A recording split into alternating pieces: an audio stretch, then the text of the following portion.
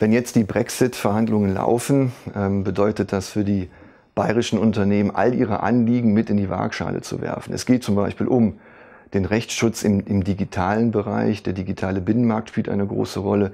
Zertifizierungen spielen eine Rolle. Wie geht man mit dokumentären Maßnahmen um, wenn es um Zölle geht? All solche Sachen müssen jetzt verhandelt werden. Ähm, zunächst in dieser Zeit der Verhandlungen verändert sich zwischen der EU und Großbritannien nichts. Nach wie vor ist Großbritannien einer der wichtigsten Handelspartner für die bayerischen Unternehmen. 21 Milliarden Euro haben Großbritannien und Bayern im letzten Jahr miteinander ausgetauscht. Das wird sich auch nicht ändern nach einem Brexit. Man muss nur äh, berücksichtigen, dass Großbritannien einen Drittstaat-Status bekommen wird. Also werden Zölle und andere Dokumente eine größere Rolle spielen. Das Miteinander Geschäfte machen wird schwieriger werden.